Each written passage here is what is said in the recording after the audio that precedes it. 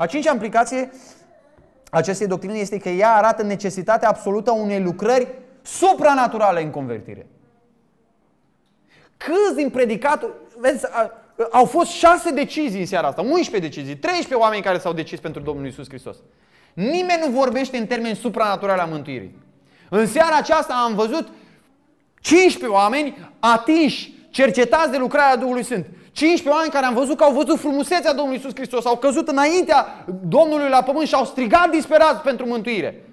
Oamenii nu mai se așteaptă să vadă ceva supranatural. Ei se așteaptă să vadă o tranzacție religioasă. Când a fost ultima oară când ați văzut la o evangelizare un om care să experimenteze mântuirea cum scrie în 1 Corinteni 14? Un necredincios intră în adunare, tainele inimii lui sunt date pe față prin predicarea cuvântului lui Dumnezeu, el cade cu fața la pământ și spune aici este Dumnezeu. Convins de păcat în mod profund.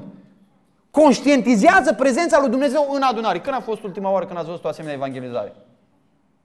Și pentru că nu vedem asta, domnule, nu merge lucrarea. Inventăm noi, domnule, niște metode. Să cum îi pocăim noi pe ăștia una, două. Fără niciun fel de problemă. Ciuntim din Evanghelie, distorsionăm Evanghelia, schimbăm Evanghelia și cu trecerea timpului ne trezim că avem altă Evanghelie. Altă Evanghelie. Altă Evanghelie.